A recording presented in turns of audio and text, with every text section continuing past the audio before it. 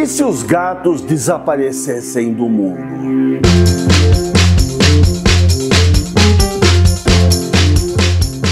Pessoal, eu quero destacar hoje este livrinho aqui. Olha o título do livro. O livro já me ganhou pelo título. E depois que eu li, eu li isso num dia, pessoal. Num dia.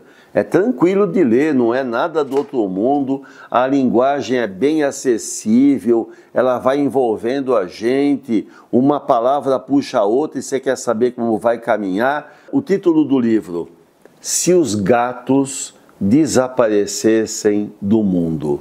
O autor é Genki Kawamura, é um japonês. Este livro aqui é um livro que me fez pensar muito. Atualmente eu estou com uma série de preocupações envolvendo a minha saúde.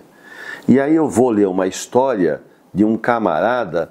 Olha a história. Então mexeu comigo, sabe, pessoal? Eu estou com isso, ainda estou processando, estou trabalhando.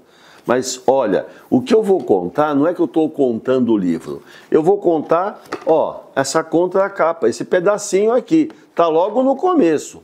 Logo, não estou fazendo nenhuma indiscrição. Esse livro é da Bertrand Brasil, a editora, e essa editora é ligada ao grupo Record. E eles me enviaram para conhecer e eu fiquei encantado. Tenho que divulgar, tenho que mostrar. Vale a pena você comprar, vale a pena você ler e vale a pena refletir como eu estou refletindo. Na contracapa é apresentado qual é o, o, o enredo. Então escuta isso aqui um carteiro com os dias contados, ele é jovem, solitário e de repente vive um grande dilema existencial. Ele não tem contato com a família, ele mora sozinho e tem apenas um gato como companhia. E ele não estava preparado para receber o diagnóstico de uma doença em fase terminal. E a notícia de que teria apenas alguns meses, talvez até semanas de vida. Entretanto, antes que possa se conformar com a fatalidade do destino, o diabo aparece em sua casa e lhe faz uma proposta irrecusável. Para cada coisa que o homem estiver disposto a fazer desaparecer do mundo, ele ganhará um dia extra de vida. E assim começa uma semana que ele nunca havia imaginado. Porém, aquilo que a princípio parecia simples se transforma em tormento.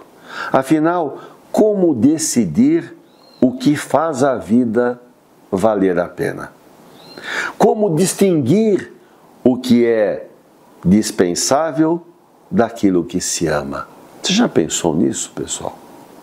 Ah, antes de você, antes de prosseguir, que eu vou ler mais um pedacinho aqui, deixa eu dar um toque. Se você está acessando o canal hoje, está conhecendo o canal hoje, está gostando do que você está vendo e ouvindo, então se inscreva.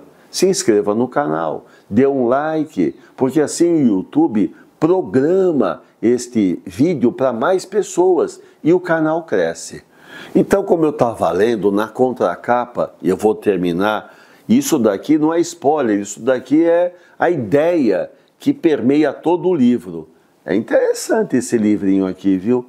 Como decidir o que faz a vida valer a pena. Como distinguir o que é dispensável daquilo que se ama. Enfrentando essas questões cruciais, o protagonista lida com um diabo excêntrico e maquiavélico e embarca em uma jornada que o levará, junto de seu querido gato, aos limites entre a vida e a morte. Se os gatos desaparecessem do mundo. Esse programa eu quero terminar hoje citando um livro que foi importante para mim também, escrito por Fernando Sabino, chamado Encontro Marcado. Ele diz: De tudo ficaram três coisas. A certeza de que estamos começando, a certeza de que é preciso continuar, a certeza de que podemos ser interrompidos antes de terminar.